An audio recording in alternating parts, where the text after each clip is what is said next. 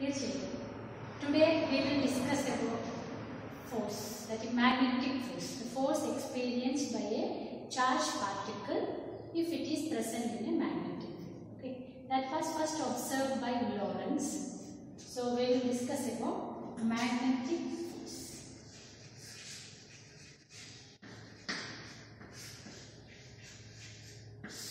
So the force experienced by a charged particle when it is moving in a magnetic was first experimentally observed by Lorentz. So what he observed is that from his experimental observation, he noticed that this force is directly proportional to charge. F is the force and Q is the charge. And force is directly proportional to the magnetic field and force is directly proportional to the component of velocity perpendicular to the direction of magnetic. Okay? Is it clear? This was his experimental observation from experiments. He noticed that this force is directly proportional to the charge of the particle. It is directly proportional to the magnetic field and it is directly proportional to the component of velocity which is perpendicular to the direction of magnetic field. So if we combine these, we can write F is proportional to QVB sin theta. And if we remove the proportionality symbol, a constant will be there. And here we are defining the unit of magnetic field in such a way that the value of that constant is 1. So that we can write F is equal to QVB sin theta. F is equal to QVB sin. Okay, that is F. F is the force, Q is the charge, V is the velocity, and V is the field. Okay, F is the force, Q charge, V velocity, magnetic.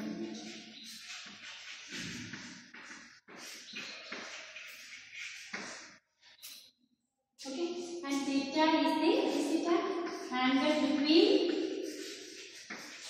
angle between V and Angle between velocity and magnet.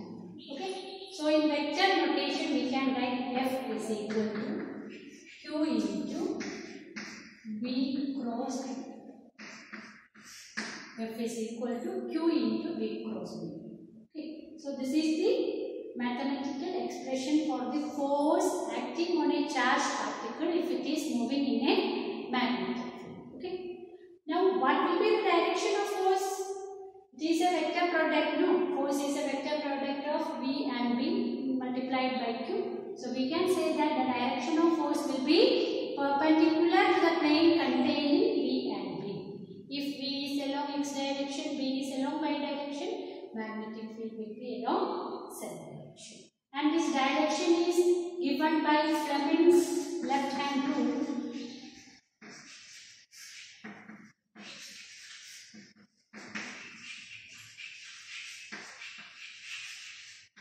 What Fleming's left hand rule says, the whole, the three fingers, that is middle finger, central finger, sorry, central finger, forefinger and thumb in mutually perpendicular direction of our left hand in such a, such a way that forefinger shows the direction of magnetic field, central finger shows the direction of current, which means the direction of motion of the charged particle. Then the thumb shows the direction of force acting on the particle. Okay, is it clear? So the three fingers of the left hand in mutually perpendicular direction in such a way that central finger shows the motion of the charged particle. Actually current, positive charge. Okay, motion of the current or motion of the charged particle. And forefinger shows the magnetic field. Then the thumb shows the direction of force. Okay, is it clear? Or if it is given in component form by by what vector product also you can find the direction of force and magnitude also you can find by this. Is it clear? So this is about magnetic force. Now we will see in which are the special cases of okay. So expression for force is given by F is equal to Q into V cross B. So some cases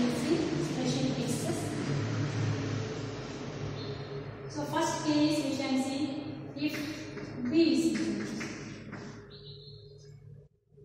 so the magnitude of the force we can write F is equal to B B. F is equal to Q B B theta. So if B is equal to 0, what will happen to force? Force is 0.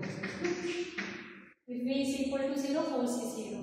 So this is the main difference between electrostatic force and magnetic force. If a charged particle is at rest in an electric field, it will experience a force.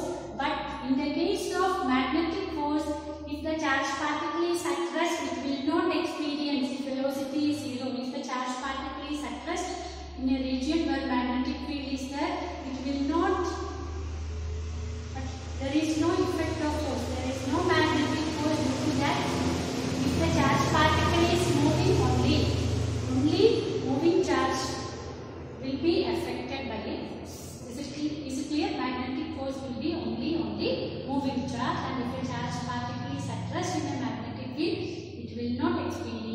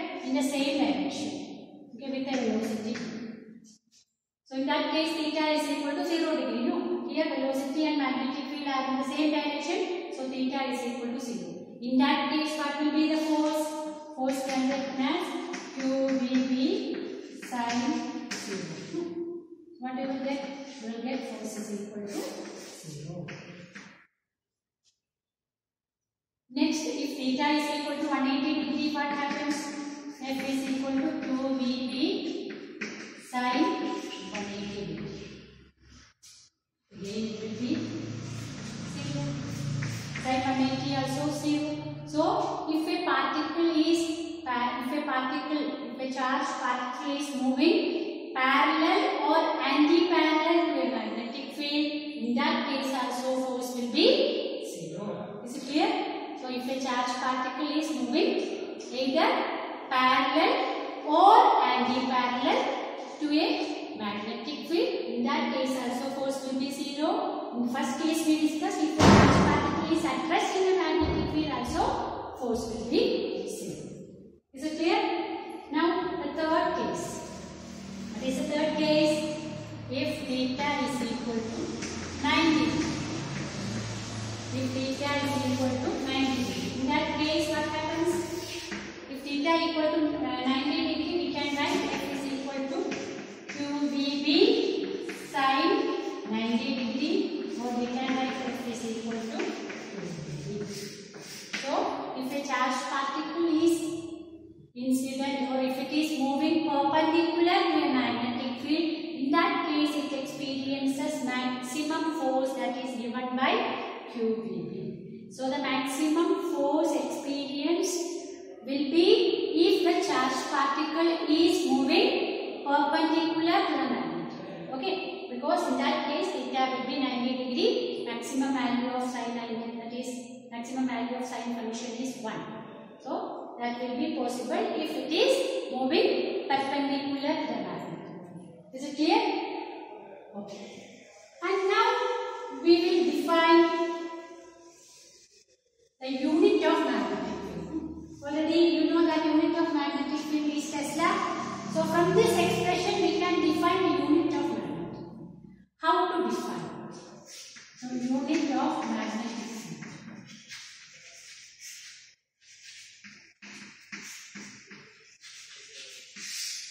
from that expression we can write B is equal to F by QB sin.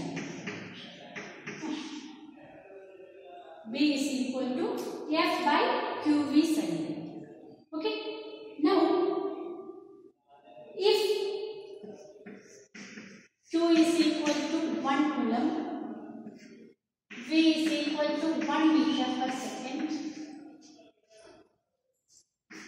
theta is equal to 90 degree, and F is equal to 1 Newton. Okay, so we can write B is equal to 1 Tesla. No? So it will be magnetic field will be equal to 1 Tesla if a charged particle of 1 coulomb charge is moving with a velocity of 1 meter per second perpendicular to a magnetic field and if the force experienced on that charged particle is 1 Newton then the magnetic field in that region will be 1 Tesla. How to define from that expression? That is, if Q is equal to 1 coulomb, which means if a charged particle of charge 1 coulomb is moving with a velocity of 1 meter per second perpendicular to a magnetic field and if the force experienced on the charged particle is 1 Newton, then the magnetic field existing in that region will be 1 Tesla. So 1 Tesla is equal to, we can write 1 Newton by Coulomb meter per second. And Coulomb per second can be written as ampere. So we can write Newton ampere meter or this unit is known as Newton meter inverse, ampere inverse and that unit is we are defining it as Tesla. Okay. So Tesla is the SI unit of magnetic field and how we are defining Tesla is clear. No? And this Tesla is a larger unit and normally we used to represent another unit it is known as Gauss. Gauss. And one Gauss is equal to 10 raised to minus 4 Tesla. One Gauss is equal to 10 raised to minus 4 Tesla and that only you have to remember. In problems sometimes they will give Gauss. So you should know the conversion of Gauss and Tesla. Is it clear? So 1 Gauss is equal to 10 raised to minus 4 Tesla. Okay.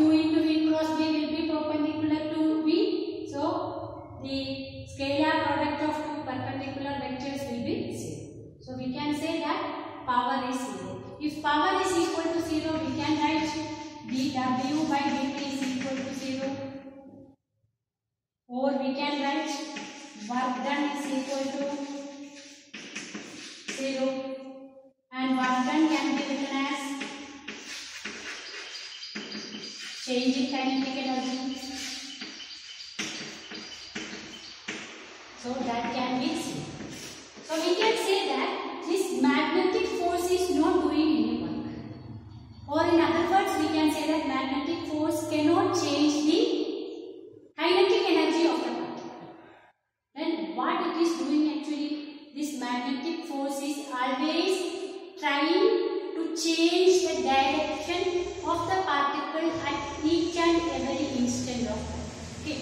At each and every instant of time, it tries to change the direction of the particle because of which the particle will move in a circular path. Okay. Is it clear? So we will see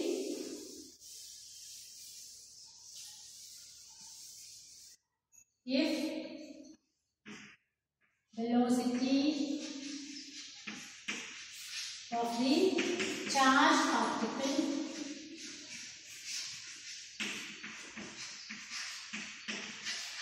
is perpendicular to magnetic field.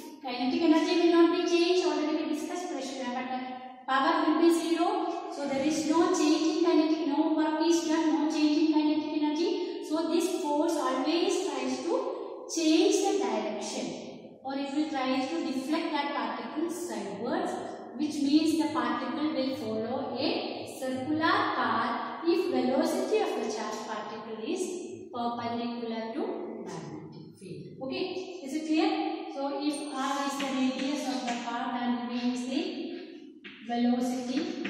And q is the charge, r is the radius. V is the velocity of the particle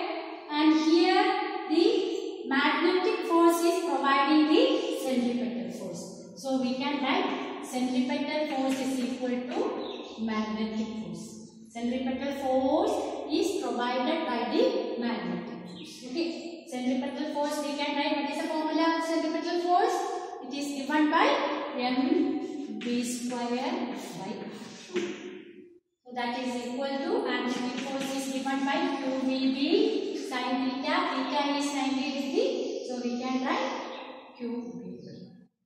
Okay. Or we can be cancelled. So you will get R is equal to MV by. So radius of the charged particle if it is in a magnetic field in such a way that that particle is entering perpendicular to the magnetic field. So if a charged particle is entering a region of magnetic field in such a way that the velocity of the charged particle is perpendicular to the magnetic field, that charged particle will follow a circular path. Is it clear? And the radius of the circular path is given by mv by qb, where m is the mass of the charged particle, v is velocity, q is the charge of the particle and b is the magnetic field. Okay. Now we can find an expression for the time period. Time period means time taken to complete one. No? Uh, time taken to complete one revolution or one rotation, whatever it is. So we can write time period is equal to that can be written as 2 pi r divided by. And we write velocity is equal to distance by time. So v is equal to 2 pi r by t or we can write t is equal to 2 pi r by v. Or we can write 2 pi instead of r we can write it as mv mv by 2v into v. Or we can write it as time period is equal to 2 pi m by v. So this is the expression of the time period of a charged particle. If it is projected in a direction perpendicular to the direction of the magnet. Okay, is it clear? So you can see that here time period does not depend on the radius or velocity. So we can say that for a given charge, if it is electron or if it is proton or depending on whichever particle, for a given it will be whatever may be whichever velocity it is projected and if the magnetic field in that region is constant, we can say that time period is constant. Or in other words, we can say that time period is independent of radius of the charge particle or the velocity through which that charge particle is uh, moving. Okay. And frequency, we can write frequency is the reciprocal of time period. So, if is equal to 1 by t. So, we can write it as qb by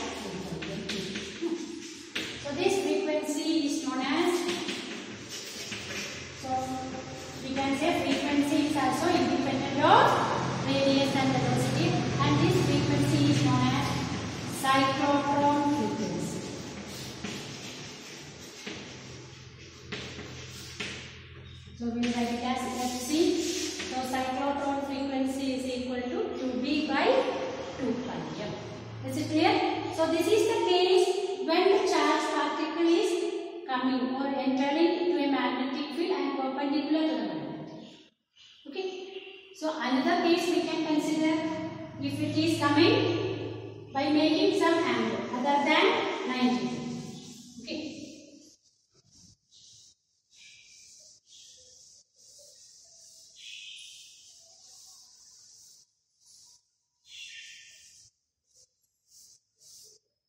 So here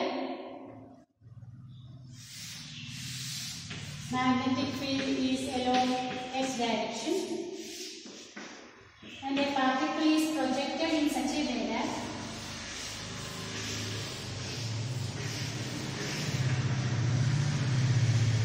it is projected with a velocity v and it, it makes an angle theta with the magnet. Okay, is it clear? So it is projected in such a way that it makes an angle theta with the magnet. So this velocity we can resolve into two components. V parallel. V parallel means the component which is parallel to the magnetic field and another component we can write perpendicular. Okay. And this parallel component we can write parallel component is equal to what will be the parallel component? Yes, it is equal to V cos theta and the perpendicular component we can write it as V sin theta. Okay. So parallel and perpendicular components we can write it as V cos theta and V sin. So this parallel component will not make any that it will go undeviated because, because this parallel because of magnetic field is acting parallel to that component. So there is no force because of this it will go it will follow a translatory path it will follow a rectilinear path but because of this perpendicular component what happens it will try to follow a circular path no? is it clear so here also we can find the radius of the circular path. So same expression we can write when you have written r is equal to mv by qb so here we can write mv sin theta by qb why we are writing mv sin theta? Because that is the perpendicular component to the field okay? That is the component of velocity which is perpendicular to field then in previous case we have written mv mv by qb then we can write time period time period is equal to 2 pi r divided by here we have to write it as v sin theta or we can write it as 2 pi mv sin theta divided by qb into v sin theta. So here also you will get the time period as 2 pi m by okay. It clear? So time period remains. Now, what will be the path? Here you can see that path is not a circular path, it is a helical path. Why it is a helical path? Because of the parallel component there will be a linear motion and because of the perpendicular component in the magnetic field, a centripetal force is exerted because of which it will try to follow a circular path. By that time it will cover a linear distance also and hence the path will be. Path will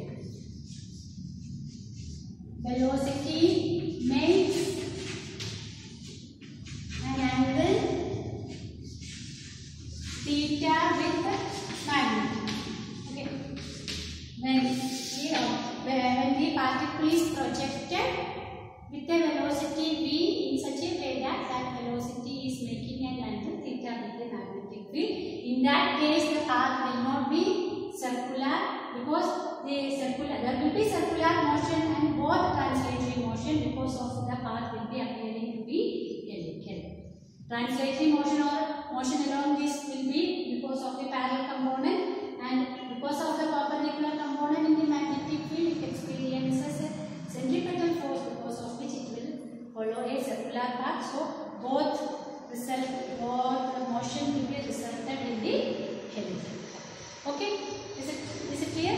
And we will call a term known as pitch pitch of the heavy.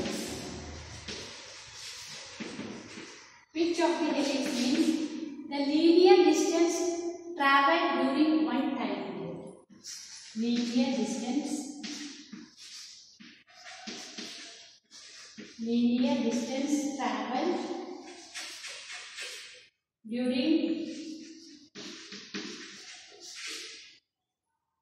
one time period. Linear distance traveled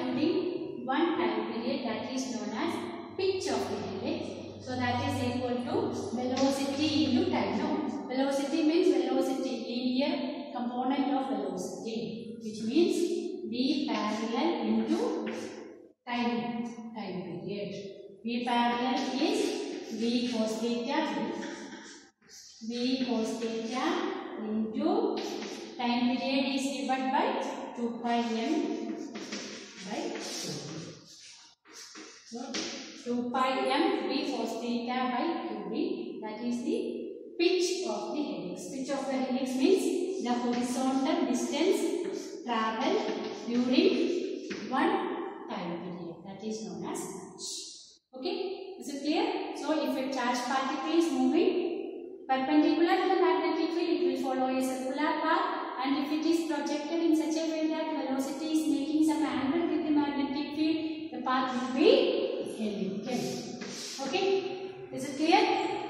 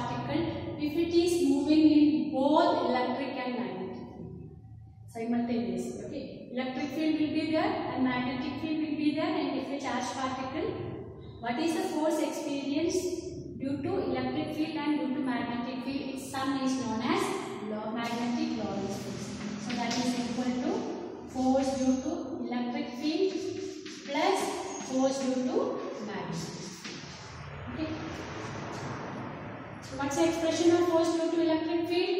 It is given by Q into E. Where E is the electric field and Q is the charge of the particle and force due to magnetic field is given by Q into E. So this total force is known as Lorentz force. Okay. Lorentz force is the force acting on a charged particle if it is moving through a region where both electric field and magnetic field is existing and that total force is known as Lorentz force. Okay, it is given by Q into E plus E cross B where E is the electric field, B is the velocity and B is the magnetic field. Okay. And now we will discuss about velocity selector.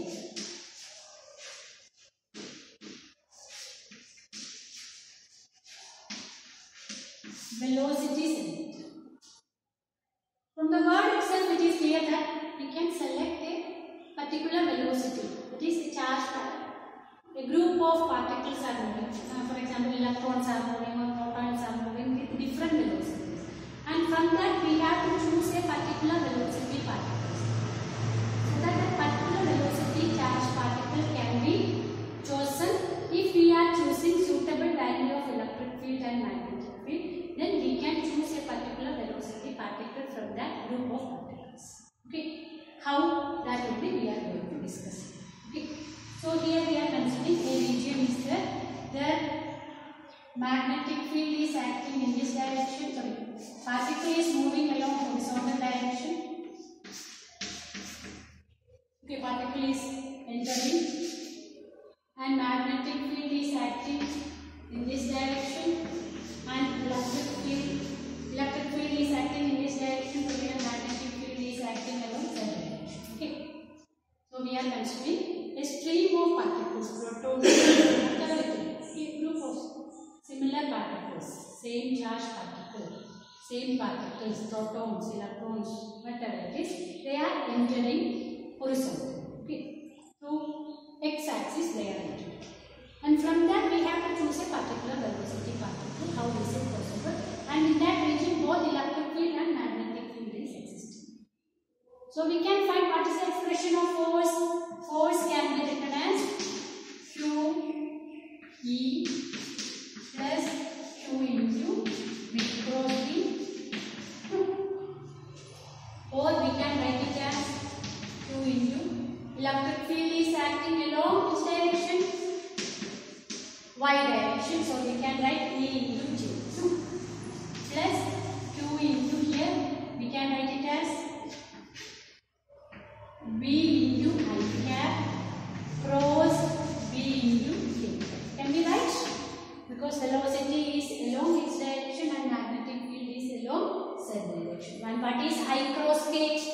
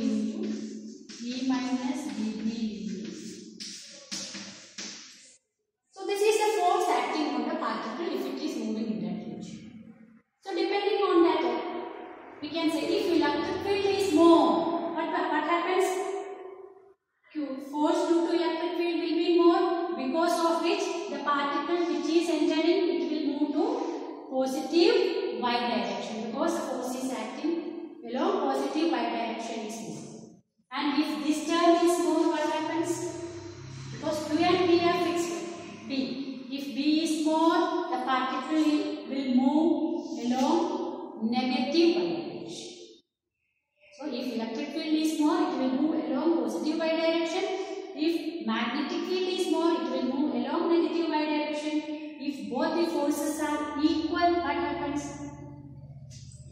If QE is equal to QV, both forces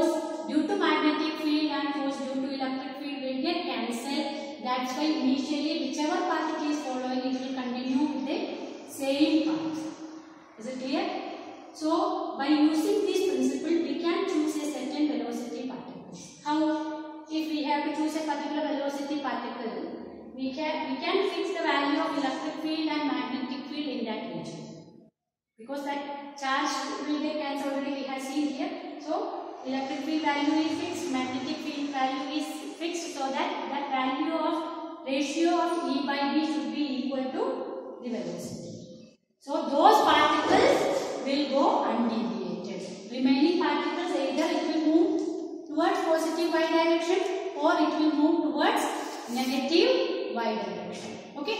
Is it clear? Either it will move towards positive or it will move towards negative y direction. The particle which are which satisfies this condition E by B, that particle is that velocity particles only will go undeviated. So we can choose that particle we can choose a particular velocity particle from a group of velocity particles because remaining all particles will be deviated and only these particles will go undeviated. Okay, this is clear? Understood too? So today we discussed about magnetic force, Lorentz force and velocity selector. Okay, and some special cases also.